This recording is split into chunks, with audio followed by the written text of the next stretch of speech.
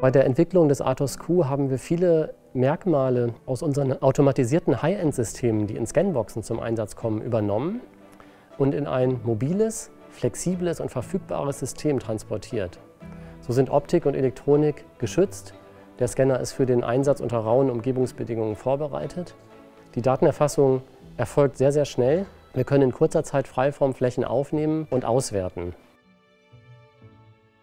Atos Q kann manuell und halbautomatisiert eingesetzt werden. Außerdem ist der automatisierte Einsatz in der Atos Scanbox 4105 möglich. So eine ganz wesentliche Eigenschaft des Atos Q ist seine Flexibilität.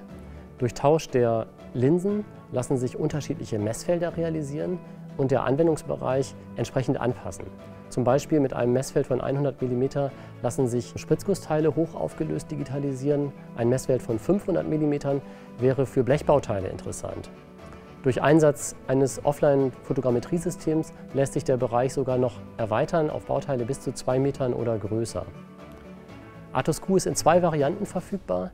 Es gibt die Variante mit 8 Millionen Punkten pro Scan und die zweite Variante mit 12 Millionen Punkten pro Scan. Die GOM Software stellt die komplette Infrastruktur für die Inspektion zur Verfügung. Das fängt an mit dem Import von CAD-Modellen und Messplänen mit der Zuweisung von Messprinzipien. Teilweise kann dies automatisch passieren, wenn es in den entsprechenden Prüfplänen bereits so kodiert ist. Mit der Auswertung der Inspektionspläne auf den digitalisierten Meshes, mit dem Reporting, mit der Erstellung von Messberichten und so weiter. Atos Q ist komplett in diese Struktur integriert. Alles läuft unter derselben Bedieneroberfläche. Der Kunde braucht nur eine einzige Software erlernen.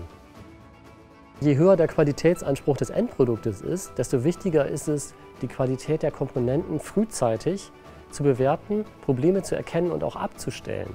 Auf diese Weise verhindert man Korrekturschleifen und Nacharbeit. Auch bei der Produktentwicklung kann der Einsatz des Atos Q wertschöpfend sein.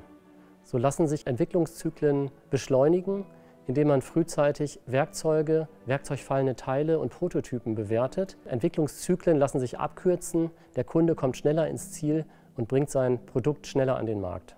GOM bringt mit dem Atos Q ein weiteres Werkzeug, um den Qualitätsprozess des Kunden umfassend zu gestalten und zu kontrollieren.